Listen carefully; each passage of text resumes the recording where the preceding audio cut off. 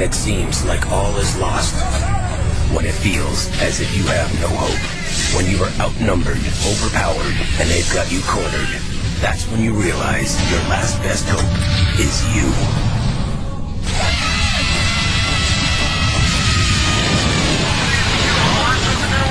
Halo, Combat Evolved, rated M for mature.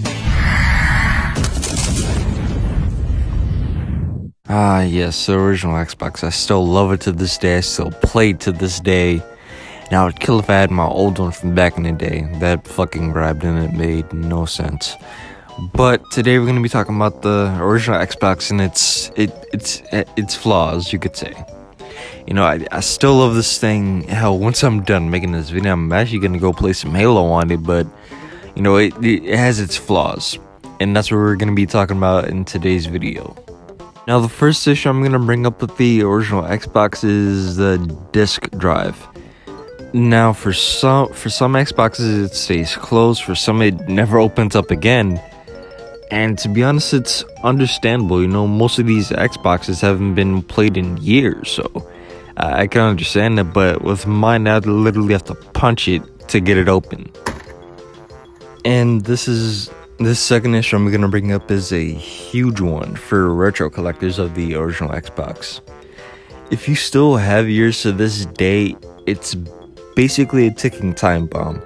So most consoles keep the time of day. You know, most consoles have clocks. With with the original Xbox, when they when they added in the clock feature, they added in you know cheap parts since the Xbox was selling like hotcakes.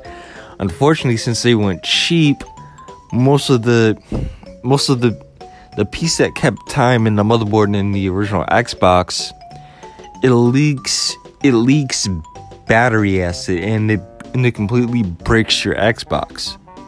So that that should have been my first issue, but you know I, I apologize.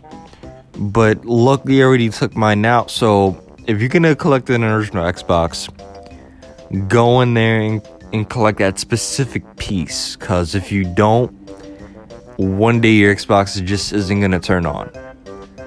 But yeah, though that's that's my second issue and it's it's a big one. I know it should have been my first. I apologize, but yeah. I guess onto a much lighter topic. Um, if you want to play movies on the original Xbox, you're gonna need a controller adapter and a TV remote. And I don't know why, but who the fuck watches DVDs in 2020? I mean, if you want to boot in the Matrix, play it on the original Xbox, go right ahead. You just need a net. You just need an adapter and a remote. So yeah, that's that's a much lighter topic, I guess. And the remote and the adapter isn't really that expensive. You should be able to get it for 15 or 20 bucks on eBay. Um, yeah. All right, so another obvious issue with when it comes to the original Xbox is it didn't sell it, didn't sell well in Japan. And I could guess it didn't for many reasons. Number one, it's, you know, big, bulky design. I know Japanese apartments are really small, so this would take up most of the most of the TV sensor. So, yeah, it makes sense. Another reason, the Duke controller. Japanese people have really small hands, so yeah, that it doesn't really work out. And I know I know I sound wrong when I'm I know I sound wrong when saying this, but that literally what it that's literally what it shows you when you look up why the original Xbox didn't, didn't sell well in Japan. That's actually the reason why they made the Slim controller for Japanese hands. But yeah, again, I know I sound wrong, but go look it up for yourself. That's literally what it shows you. I guess on to the last topic. So, like I said, I love the original Xbox. I had I have a ton of great memories with it. You know, like I said, I wish I could get my old one from back in the day. I still love it while I'm editing this, I'm probably gonna play some Halo. But yeah, I, I love this thing. It has its flaws, but we could deal with it. You know, it's it's a gem. It's a gem. It's a gem of a system.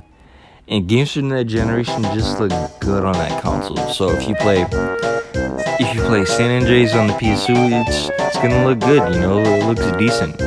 play played on the original Xbox, it's it's not like it's in 4K or whatever, but it looks better, it looks clear, it looks cleaner. So if you want to play games from that generation that, that look good, play it on the original Xbox. So um yeah, I guess I guess I'm out of here. Uh, I'm probably gonna I'm probably gonna live stream as soon as this video is out. So look out for that. And um, yeah, I'm out of here.